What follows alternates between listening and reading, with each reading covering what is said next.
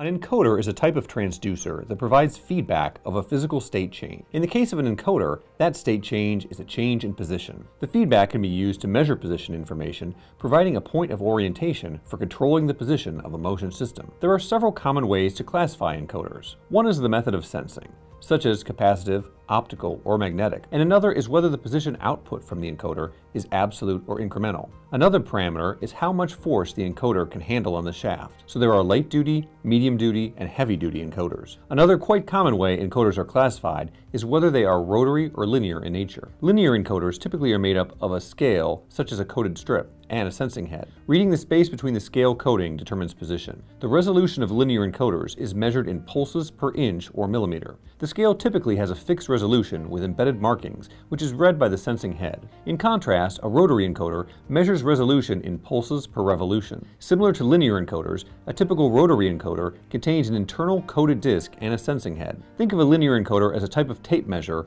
while a rotary encoder is more like a measuring wheel. Encoders can also be either absolute or incremental. Absolute encoders have a unique code for each shaft position, so every position of an absolute encoder is distinctive. The absolute encoder interprets a system of coded tracks to create position information where no two positions are identical. Absolute encoders can be single-turn or multi-turn. Single-turn encoders are well suited to short travel motion control applications where position verification is needed within a single turn of the encoder shaft. Multi-turn encoders, on the other hand, are better for applications that involve complex or lengthy positioning requirements. Absolute encoders have a number of advantages. Some absolute encoders use a non-volatile memory to store position information, although most single-turn encoders do not. True position is not lost if power is lost or the system moves while power is switched off. A continuous reading of position is not needed. This is specifically useful in those applications, such as satellite tracking antenna, where position verification is key. Safety is another benefit. In some applications, where a loss of position could lead to operator injury or machine damage, an absolute encoder automatically provides position verification when the power is switched on.